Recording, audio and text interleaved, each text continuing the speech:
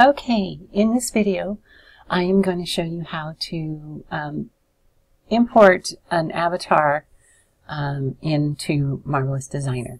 You know, so if you have uh, different developer kits and stuff like that, and you want to bring in a particular body into uh, Marvelous Designer, you can. Um, okay, so I'm going to show you how to bring in the Slink uh, avatar or a Slink uh, avatar into Marvelous Designer. And so here we have the standard Marvelous, I mean Slink kit. Um, I'm going to clean this up a little bit. I'm going to come here to the corner and hold down the left mouse button, drag up. You see that arrow? Let go.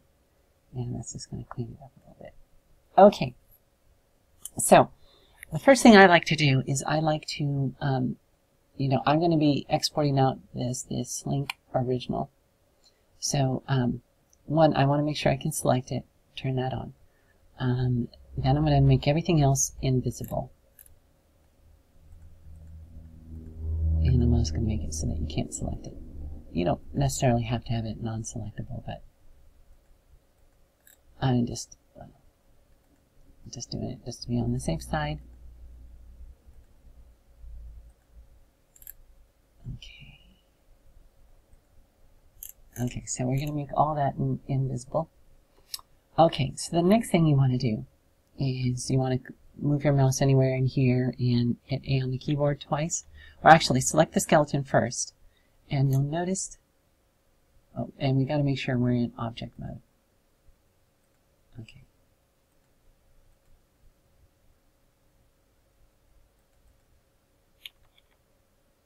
Okay, and then you hit the A key twice, and that selects everything in the scene, including the, the mesh body um, that is that is visible and then you come here to File, Export. You do not want to export as an Avastar. You want to export it as a Collada default, DAE.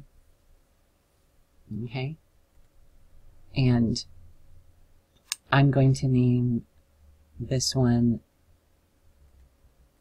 4. You can see I've done a couple of test ones.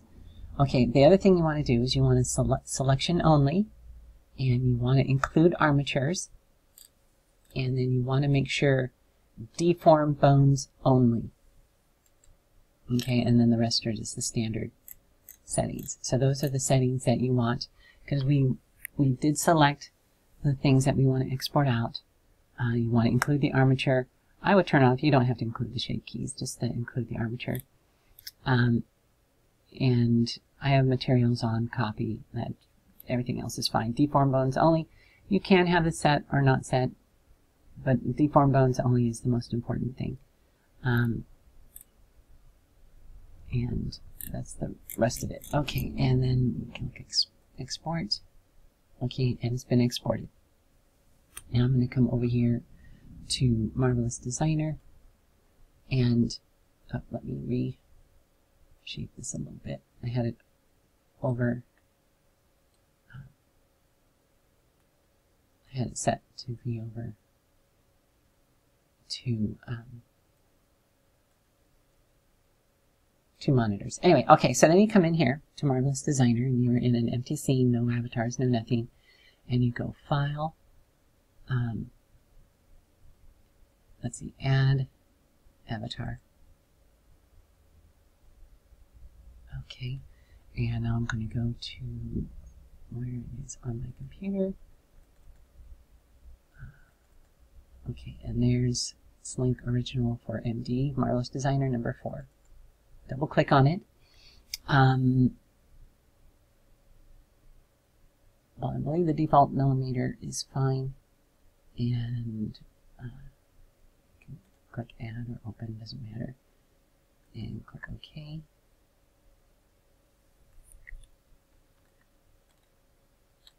And why did that come in on the side? Okay, let's try that again. All avatars.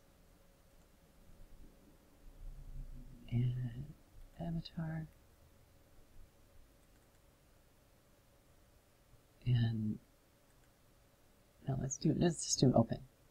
Millimeter default. Okay, that and that worked. Okay. Um, and now let's turn that off and that off, and we'll turn on the bones. And you can see that it came in with the bones. Let me turn this off.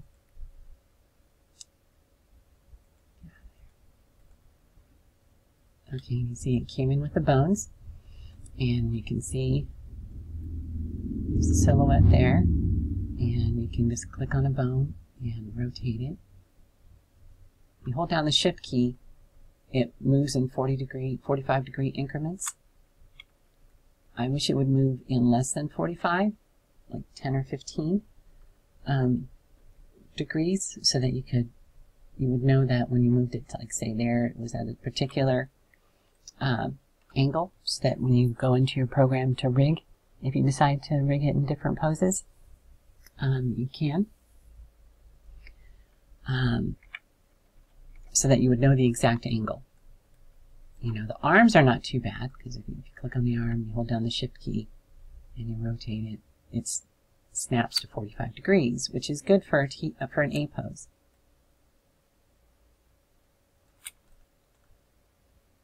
But 45 degrees on the legs is just way too much. Um, if anybody knows, oops, I guess I should this. Uh, if anybody knows how to get Marvelous Designer so that you can rotate, so that you can rotate these things and type in a number, that would be awesome. Uh, I guess you could rotate it. Oh no, then if you, yeah. So um, I was thinking you could rotate it in the A pose before you export out the DAE file. Um, but then how do you snap the legs to be straight up and down? Unless, because it only goes at 45 degree increments. Um, I haven't been able to find a setting. Um, is there a setting for graphics default? What settings? Others. Millimeter centimeters, automatic. See, there's nothing in here that says um, snap to 45 degrees. That is really sad. But maybe there is. Um, a setting somewhere. Okay, so or an input. I haven't been able to find one you can input it. I've looked in here, and you can find the bone in here, um, but you can't, you know, you can't set it, you know. Or there's the left hip, left leg. It says there's that, that left hip, and there's no number to be able to set it to a particular rotation, which really, really sucks. Um, okay, so that's, and you can see it comes in really nice. And um, let's see, so to make a pose though, so say this is the standard T pose. I'm to, you can just go File, um, Save, Save as Pose. And I already done a, a T pose, but I'll just double click and overwrite it. Okay, and then say you want to do an A pose. I would hold down the shift key and snap that to 45 degrees. Shift key. There it goes. Snap that to 45 degrees. And then on these, you're just going to have to um, do your best best guess. You know, I'm going to try to match it up so that the leg here is lining up with this there and try to get it there. I'm not sure what angle these are, but that's the best I can do. Um, and then I'll run a file, save as pose, and we'll save that as a pose. Okay. So, um, now to go back to the other pose, all you have to do is go open, uh, pose, a pose. and it moved the A pose to the A pose. So that's how you can do the different the different poses. Uh, let's see. Whoops. Uh, turn off the joints. Um, so that's how you bring an avatar into Marvelous Designer.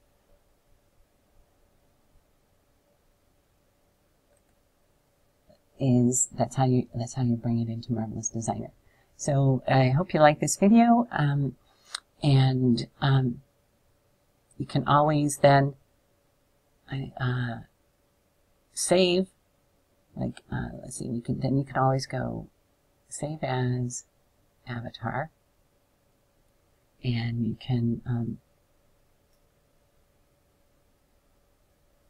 uh, where is it? You can save the you can save the avatar and save it as Slink original female. And so now you have the avatar saved.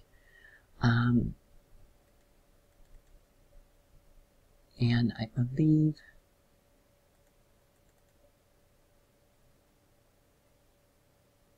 avatar. Uh, you have to save it. Hold on, I find out where what should be saved. Okay, to save it in here, um, um, what you do is you go File, Save As, Avatar, go to your documents, find it where it says Marvelous Designer, find the, the latest version. Um, this is the latest version here. Uh, then go, um, then find the avatar, and then click Avatar, and then name it. Sorry about that. My, my dinner is, is, is ready. Uh, so it's a Slink um, original email and then just hit enter. And it should have popped up in here. Okay, and it did. I just had to double click here to refresh to refresh this. So now if we go um, delete all avatars, and then if we just drag that in there, I don't want to save what was there before, and there she is. And um, and if we turn on, oh, we have to have a piece of clothing in there. Uh, let's just throw.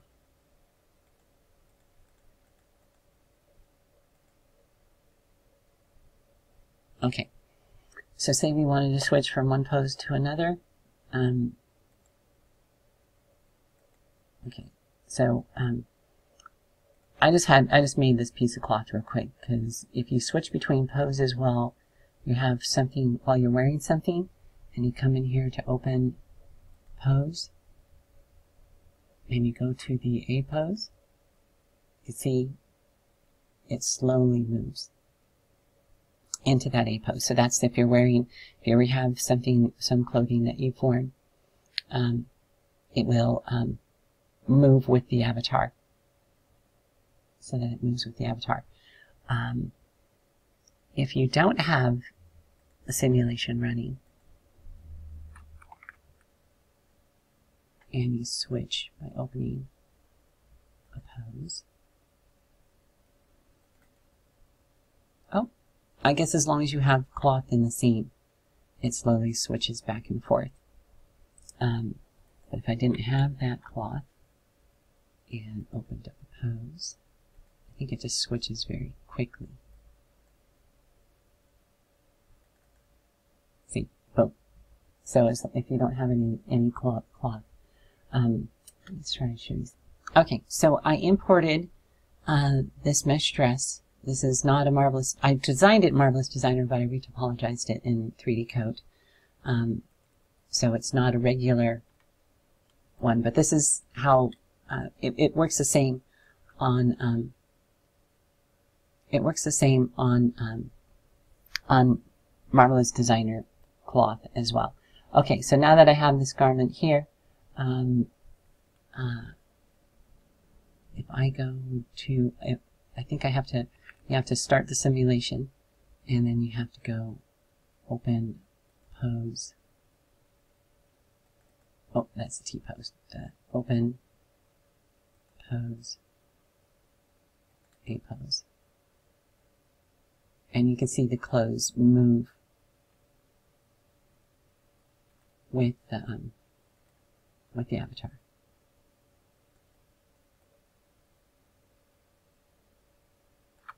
So, okay, well, that's it. Um, uh, I hope uh, this helps some people out there. Oh, yeah, my CPU is getting kind of warm.